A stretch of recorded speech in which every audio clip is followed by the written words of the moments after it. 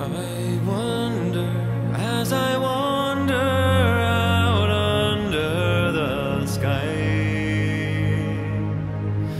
how Jesus, my Savior,